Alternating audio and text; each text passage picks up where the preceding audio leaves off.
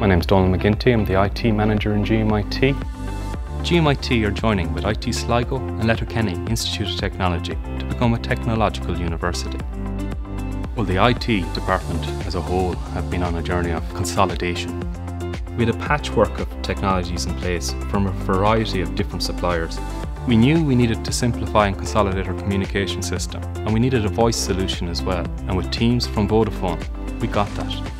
Vodafone brought their expertise and the weight of their organisation behind the project and were able to make what was a complex project quite simple. They brought in project management and technical services people and really did support the team here. Now we can do all the work that we used to do on campus, anywhere. Based on our experience with Vodafone, the advice I'd give is it's crucial to find a partner that will work alongside you and with you. I'm very excited for the future of GMIT and all the opportunities that that brings. And having the right partner and technology solutions behind that is really encouraging.